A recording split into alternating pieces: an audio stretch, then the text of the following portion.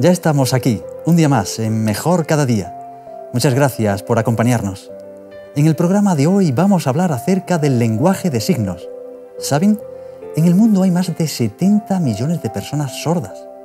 ¿No les parece curioso que estudiemos idiomas extranjeros para comunicarnos con gente de otros países y que no podamos hablar con nuestros familiares y amigos sordos? En el programa de hoy deseamos animarles a aprender esta lengua y mostrarles todos los aspectos positivos de hacerlo. Pero antes, vamos como siempre a nuestro espacio de opinión pública.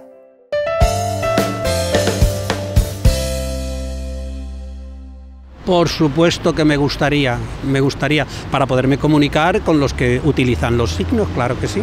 No conozco el lenguaje de signos, sí que me gustaría conocerlo para comunicarme con gente que creo que debería estar en igualdad de condiciones respecto a nosotros. Me encantaría saber, y fue algo que inicié hace 15 años, empecé a estudiar lenguaje de signos, pero por asuntos académico-profesionales no pude seguir, pero sí que lo retomaría. Pues no lo sé, pero me hubiera gustado saberlo desde un principio. Es una asignatura pendiente que tengo actualmente. Pues dado que yo soy músico, pues fijaros cómo pues sería mi vida sin oído, pues perdido. Yo no soy Beethoven. No podría comunicarme, habría muchas cosas que no, al no percibir te cambia la percepción totalmente. De repente yo sentiría que mi vida no tiene sentido, que me he quedado incomunicado, que podría estar rodeado de mil personas y me sentiría completamente solo. Totalmente, no sería la misma, por supuesto. Ni evidentemente la comunicación con los demás, que para mí es fundamental, quedaría absolutamente anulada. Cualquier persona que un sentido de esta índole le es carente del mismo, pues la verdad son admirables, que pueden trabajar, pueden moverse, pueden comunicarse. La cultura sorda es la cultura que la gente que, que tiene dificultad o que directamente no, no, puede escuchar ha construido de forma paralela a, a la cultura que entendemos por normal, vamos. Pero entiendo que debe ser todo ese depósito de sabiduría, de pensamiento, de sentimientos, de sensaciones que todo ese grupo de personas tan distintas entre sí, como puede ser cada uno de los sordos, me podría aportar a mí. Yo ya no estoy viéndolo como en qué puedo salvar yo al mundo de los sordos, sino en qué me pueden aportar incluso ellos de, de cómo entienden ellos la vida. Sinceramente no lo sé. No desconozco qué es la cultura sorda. Aquí creo que es el Estado quien tiene que hacer más hincapié en apoyar a esta gente, sordos, ciegos y todas estas personas que en realidad tienen carencia de un sentido. Como mínimo facilitar el acceso al lenguaje de signos y facilitar todo tipo de recursos que a ellos les puedan, valga la redundancia, facilitar la vida, la comunicación, las relaciones sociales y todo tipo de, de situaciones que, que se les complican día a día. Como en todo, para apoyar se necesita una base educativa. En todo. Con lo cual eh, habría que facilitar el acceso todavía más, si cabe, en las administraciones públicas para que pudiera haber intérpretes. Pero en segundo lugar, el gran escollo, y es lo que me he referido antes, que es el tema de la educación. No hay facilidades para que un niño sordo se eduque y se integre. Y después, para que se eduque y se integre, no hay que educar al niño sordo, hay que educar al resto de compañeros del niño sordo, con lo cual sería una cuestión de inversión dentro de la escuela. Primero intentar entenderlos y después, lógicamente, darles acceso a que tuvieran una forma de poder entenderse y de realizarse como personas con ese problema con el resto de la sociedad.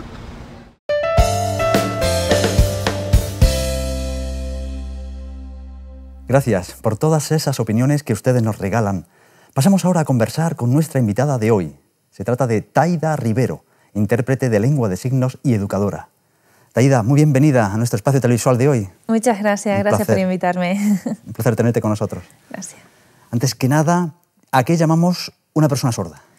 Bueno, pues una persona sorda es aquella persona que tiene una discapacidad auditiva, bien sea leve, grave o que tenga una simple hipoacusia. Es verdad que todos estos términos son simples sinónimos, pero no todas las personas tienen, forman parte de la cultura sorda, que después seguramente me preguntará sobre ello y, y te contestaré a esta pregunta. Pero es relativamente una persona sorda es aquella que tiene una discapacidad auditiva. ¿Son personas diferentes con respecto a las personas que oyen con normalidad? En cuanto a la forma de ser, por ejemplo. No, en cuanto a la forma de ser, es verdad que tiene una cultura diferente, pero ellos comen, duermen, eh, hacen cualquier actividad, pues tienen dos manos, dos ojos, un cerebro que les funciona perfectamente y no tiene nada que ver con, o sea, no se diferencian con las personas oyentes. La única diferencia es que no les funciona el oído y que su lengua es la lengua de signos, pero pueden hacer cualquier cosa como, como cualquier persona normal. Pero tareas quizás especialmente en las que haga falta escuchar más, oír más, como por ejemplo conducir, estas personas con discapacidad auditiva, ¿tendrían esos problemas? No, realmente las personas sordas pueden conducir perfectamente. Es más, una persona oyente dentro de su coche pues tiene la música pues a todo volumen, ¿tú crees que realmente esas personas mm, oyen lo que pasa al exterior con esa música? No, realmente no. Eh, lo mismo pasa con las personas sordas, a pesar de que no les funcione el oído, eh, los iconos, los símbolos, el semáforo, todo es visual. Entonces ellos pueden conducir perfectamente y pueden desempeñar trabajos como cualquier otro.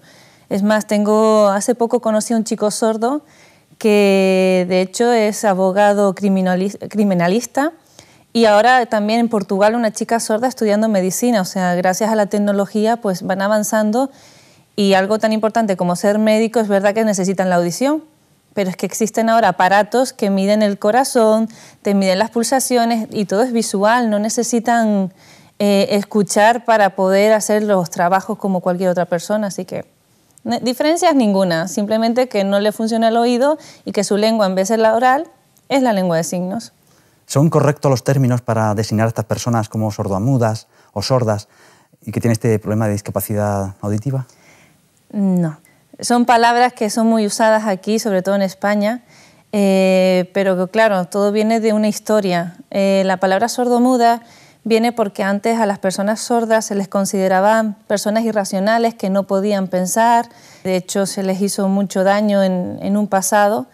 Y claro, ahí viene el término de sordomuda por la mudez, de no poder hablar, de no poder expresarse correctamente y no es correcto. Es mal, estamos añadiendo una discapacidad que no tiene, que es la mudez. Para que una persona sea muda, no, puede tener ni aparato fonador ni lengua y eso es muy extraño encontrarlo. encontrarlo. Existe, de hecho las personas que, suelen tener cáncer de laringe, faringe, pues se les suelen estirpar por el aparato oral y realmente esas personas necesitan un aparato para poder hablar, no sé si lo has llegado a ver, pero eso sí sería una persona muda, pero una persona sorda tiene su aparato fonador, lo tiene en perfecto estado, simplemente que al no escuchar no pronuncian bien. Entonces, el término correcto, sordo, persona sorda. ¿Y las personas sordas eh, todas saben leer y escribir? Depende, depende, porque es verdad que nosotros aprendemos a hablar porque el oído no funciona y escuchamos los fonemas a la hora de, leer. Es más, un niño cuando es pequeño y empieza a leer la, escritura, eh, sabe que la M con la A se dice ma, la P con la A entonces dice mamá y papá y, va asociando a través del sonido la caligrafía de cómo, qué corresponde con ese sonido. En un chico sordo es muy difícil. Es verdad que al no escuchar les cuesta más leer, les cuesta más entender, pero todo depende de la educación que se le, que se le imponga de pequeño. Es muy importante que en un niño se aprenda lengua de signos en edades tempranas para que vayan adquiriendo vocabulario y así les resulta más fácil a la hora de estudiar, de aprender pues, a leer y a escribir, pero les cuesta mucho.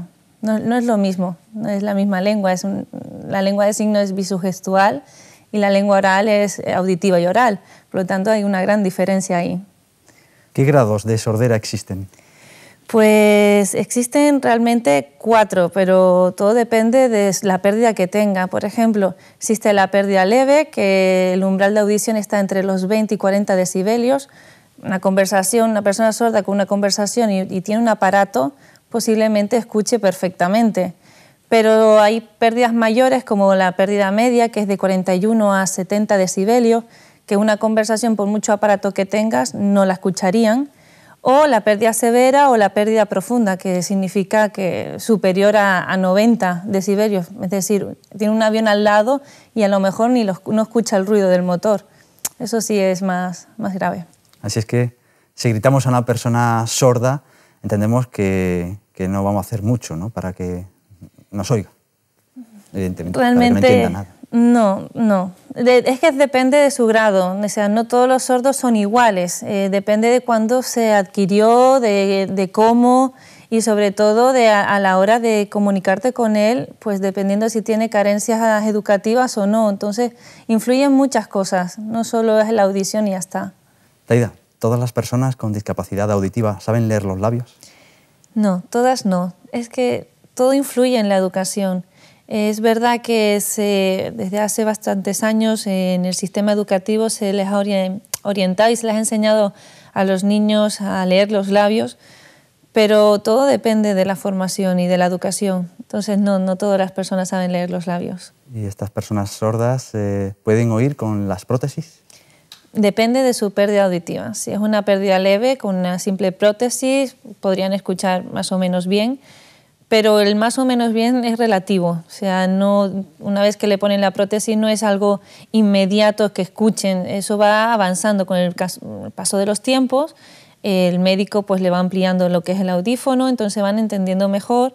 Con el trabajo del logopeda es lo que se de- desarrolla la, le- la lectoescritura, que vayan entendiendo leer- leyendo los labios, como la pregunta anterior, pero no, no todos, porque si es una sordera profunda, por mucho aparato que te pongas, no, no se llega a entender nada. Es más, a veces les resulta hasta molesto, porque escuchan ruido, eh, cuando hay mucha gente, en vez de escuchar palabras, escuchan un ruido excesivo que les, provoca dolores de cabeza, tienen muchas, muchas complicaciones y ellos mismos se lo de- desconectan. ¿A qué llamamos eh, la comunidad sorda? Una comunidad sorda. Pues la comunidad sorda es un grupo de personas diversos, heterogéneas, no tiene un rango de edad, pueden ser niños, adultos, adolescentes, personas mayores. Eh, lo que sí tienen en común es que comparten metas y trabajan en, en pos de un objetivo a conseguir. Esa es la comunidad sorda. ¿Y qué es signar? Signar, pues realmente es hablar. Nosotros hablamos a través de, de nuestra boca, ¿no? Hablamos perfectamente. Ellos a la hora de signar eh, es hablar con, con sus manos. Es, es otro sistema de, de habla. Estamos hoy hablando con Taida Rivero, ella es intérprete de lengua de signos y educadora. Te preguntamos precisamente por eso, ¿qué es eh, exactamente la lengua de signos? ¿En qué consiste? Pues bueno, la lengua de signos para mí a nivel personal es algo muy creativo, es una lengua eh, donde tienen tantos recursos que incluso antes de empezar a estudiar yo ignoraba, pero es que cada año evoluciona, eh, se aprende cada cosa y de forma creativa, ¿no? Es lo bonito que tienes. No, con, gracias a la lengua de signos las personas sordas pueden comunicarse, pueden transmitirse ideas, conceptos, conceptos que ni, ni siquiera nosotros los oyentes eh, a veces no sabemos definir. Es, curioso, sobre todo cuando doy cursos de lengua de signos, eh, la gente me pregunta, ay, pero eso significa lo mismo. Por ejemplo, una palabra, ¿no? Técnico. Este signo significa un montón de cosas, técnico, proyecto, arquitecto, ingeniero, dependiendo del, de la situación y del contexto, significa una cosa u otra. Y eso es la riqueza que tiene la lengua de signos que yo ignoraba. Eh, lo único que sí quiero destacar es que a través de la World Deaf Federation, la Federación Mundial, Federación Mundial de Sordos, eh, ellos han hecho una estadística de que existen más de 70 millones de personas sordas. Aquí en España tenemos un millón. ¿Qué quiere decir? De ese millón, solo 100.000 son signantes. Es, decir, usan la lengua de signos para comunicarse. El resto, o bien no se sienten parte de la cultura sorda, o simplemente no tienen esa identificación de ser sordo para usar la lengua de signos, que eso es otro hándicap que tiene la sociedad acerca de lo que es la lengua de signos. ¿Y cómo surge, Taida? Pues surge por la necesidad de la comunicación.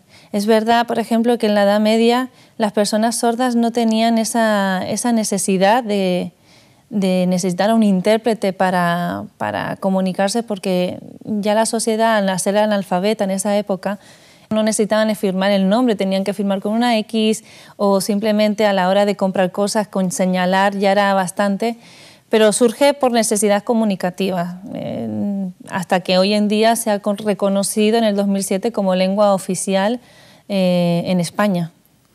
¿Es la lengua de signos universal?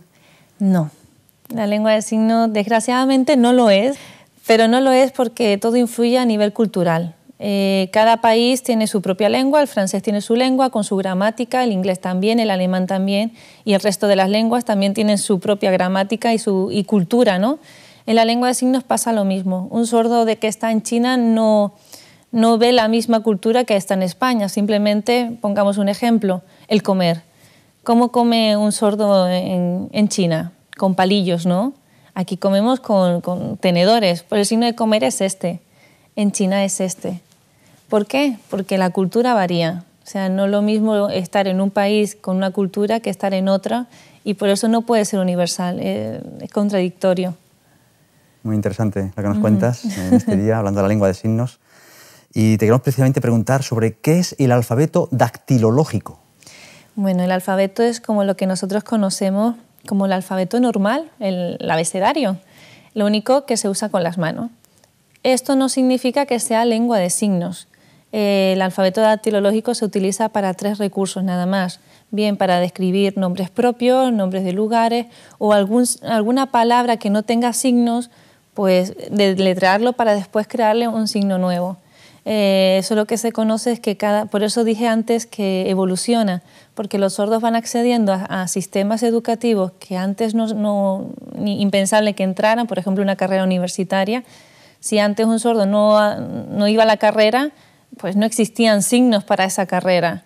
Pero gracias a que la tecnología y que la educación va mejorando, estas personas van accediendo a nuevas informaciones y se le va poniendo un signo nuevo. Entonces se empieza con el dactilológico y luego se le implanta un signo a la, a la palabra en concreto. ¿Qué es la cultura sorda y cuáles son sus objetivos? La palabra cultura, si vamos a definirla en la antropología, pues dice que es un conjunto de comportamientos eh, aprendidos por un grupo de personas, bien sea la lengua, las tradiciones, eh, las costumbres. Por ejemplo, en España tenemos una cultura española. En la lengua de signos pasa lo mismo y en la comunidad sorda exactamente lo mismo. Hay una cultura en la que ellos se sienten muy orgullosos y es muy importante transmitir esa, esa cultura a los niños a los niños sordos. ¿Por qué? Porque con el tiempo está desapareciendo. Por ejemplo, a la hora de, comer, eh, nosotros los oyentes a la hora de comer podemos mantener conversaciones mientras comemos, ¿no? Vamos hablando con nuestros familiares y vamos comiendo. Ellos no, ellos comen, para, signan y vuelven a comer. O simplemente para llamar la atención, si estamos distraídos y quieres llamar la atención de una persona, pues encendemos y apagamos la luz para que esa persona nos vea. Entonces, esa, esa cultura, esa forma de, comunicarse es lo que llamamos cultura sorda. ¿Qué es eso de la actitud del sordo? Pues es básico para entenderse pues, con los miembros de la comunidad sorda. Hay cuatro variables para considerarse como miembro de la comunidad sorda y tener la actitud del sordo. Uno viene, bien puede ser pues, por la audiología, que quiere decir que si tengo una sordera, entonces yo ya puedo formar parte de la comunidad sorda bien lingüística porque uso la lengua de signos, que es mi caso, por ejemplo. Yo soy oyente y sé lengua de signos y puedo formar parte de la comunidad sorda porque tengo actitudes del sordo. Otra puede ser social porque participo en sus actividades y mucha gente acude a esas actividades y se comunica en lengua de signos. Y la última es la política, que defiende sus metas, sus objetivos, sus derechos y luchas para que haya una mejor un mejor estatus dentro de, la sociedad con esta, en relación a estas personas sordas y que aquellos que estudian la lengua de signos pues pueden participar también como actitud del sordo siempre y cuando quieran y ellos acepten que seas parte de ellos. Tú eres precisamente intérprete de lengua de signos. ¿Cuál es la importancia precisamente de, este, de esta figura del intérprete de la lengua de signos en nuestra sociedad actual? Pues la importancia es que, bueno, los intérpretes de lengua de signos pues son el puente de comunicación. Es decir, una persona sorda quiere comunicarse con una persona oyente que no sabe lengua de signos y el intérprete pues hace de puente de comunicación para que ambas informaciones lleguen adecuadamente. Lo ideal es que todos sepamos lengua de signos y no necesitamos a un intérprete como mediador para resolver situaciones, por ejemplo, tan sencillas como, no sé, eh, en un centro comercial, ir al médico, eh, el tema de un abogado, situaciones que a lo mejor son muy personales y tener a una figura de intérprete a veces como da más frialdad o más no es tan cálida la situación para llevar una buena conversación, a veces te intimida una situación como esta. Entonces, el intérprete simplemente es el puente de comunicación, un robot que interpreta de un lado y a otro, ya está. ¿Cuál es el perfil del intérprete? Pues tiene que tener una serie de características eh, muy importantes. Una de ellas, por ejemplo, que tenga flexibilidad, autocontrol, distancia profesional, eh, concentración, memoria, eh, agilidad mental. Son una serie de requisitos que es verdad que todo esto se lleva a la práctica. De la noche a la mañana no se gana y aún así se sigue trabajando y se sigue puliendo. Pero es casi muy parecido a un código ético. Es más, es un código ético que de hecho en 1994, hace poquito, se estableció a nivel oficial y, hay que llevarlo, porque si no el trabajo no, no sería profesional en este campo. ¿Qué hace falta, por tanto, para ser intérprete? ¿Cuáles son esos requisitos? Pues simplemente que tengas bachillerato o un acceso superior, el acceso de los 25 años, si no me equivoco, y sobre todo que te guste, porque este trabajo es verdad que hay que echarle ganas, tiene que ser vocacional porque se sufre, pero también tiene su recompensa. ¿Qué consecuencias puede tener el hecho de que una persona interprete sin tener la titulación de vida por parte del Estado? Una pregunta delicada. Pues consecuencias muchas y desgraciadamente no son buenas. Más que nada porque eso se considera como intrusismo laboral. Eh, una persona estudia para tener una titulación y es importante que, que se, se, defienda esta profesión, pero bueno, con delitos penales graves, de cárcel, hasta multas y nunca más poder ejercer como intérprete a pesar de tu buena vocación. Entonces hay que tener cuidado con eso. ¿Qué queda por hacer en beneficio de la comunidad sorda por parte de administración, etcétera, instituciones? Bueno, la más importante que tengan acceso a la información en todas las áreas, porque la lengua de signos ya se ha reconocido a nivel estatal en España. Sí, ahí siguen habiendo países que necesitan que se les reconozca su lengua de signos, pero sobre todo el acceso a la información es lo más importante. Sin duda, hemos aprendido mucho en el programa de hoy sobre la comunidad sorda. Ojalá que podamos mentalizarnos más y derribar juntos todas esas barreras de comunicación que dificultan la vida de tantos amigos y familiares con esta discapacidad auditiva. Muchas gracias, Taida Rivero, intérprete de lengua de signos y educadora, por haber estado con nosotros en nuestro programa Mejor cada día. Muchísimas gracias a vosotros. Ahora vamos a ver el resumen de las principales ideas del programa de hoy. Esto es, en pocas palabras.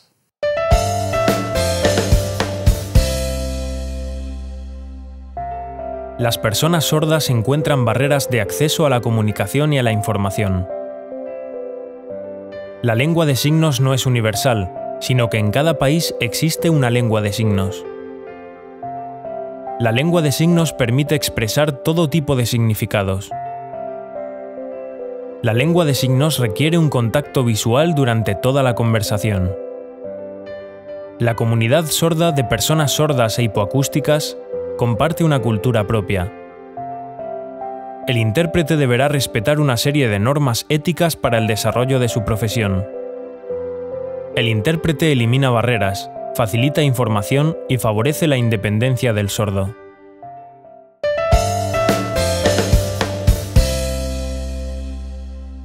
Con estas ideas finales sobre el programa de hoy, la lengua de signos, vamos a despedir. Le recordamos que tiene a su disposición la web hopmedia.es en la que pueden disfrutar de interesantes programas de televisión y radio a la carta. Y por supuesto, la página de internet quecurso.es, donde encontrarán interesantes cursos totalmente gratuitos.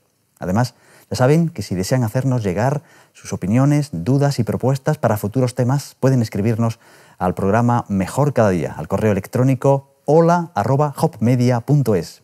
Nos vamos, pero ya saben, les esperamos en el próximo programa. Muchas gracias y hasta pronto.